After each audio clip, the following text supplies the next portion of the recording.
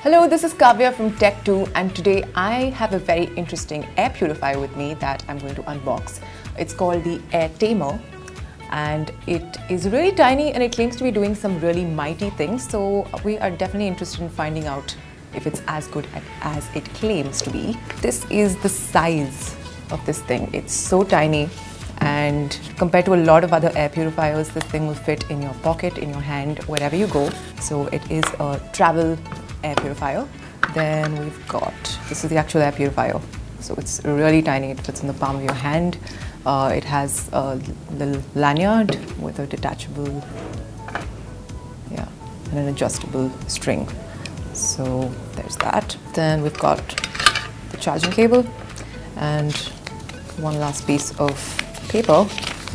It looks lot like a shopping list or something else, but I don't think that's useful to us. So, all right, so this is what uh, this is what the box has.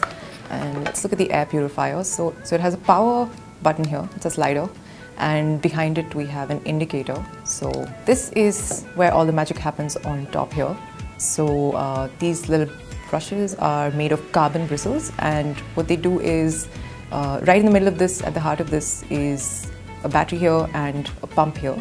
And it pumps out a lot of negative ions. So that way this is works very differently than a lot of other air purifiers out there. So it doesn't take in any air and pump out any uh, purer air.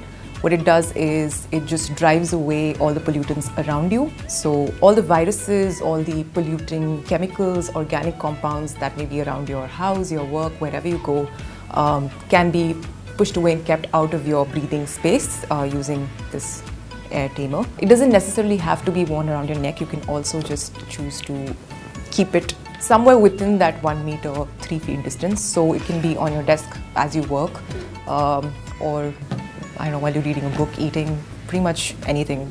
So another cool thing about this is that it's completely rechargeable, so you don't have to have the hassle of replacing batteries, uh, and it's also more environment friendly that way, so that's good news both ways. So all you need is either a power socket or just pop it with into your laptop and that'll take care of the charging.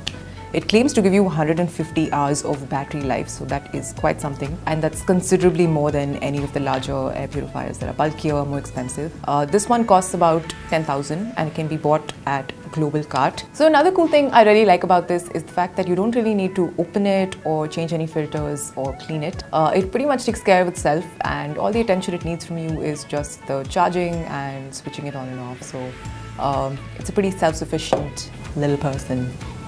Yay. So if you live somewhere very polluted and you move around a lot, or if you simply want an air purifier that's tiny, handy, and uh, claims to do some really amazing things, you should definitely consider this.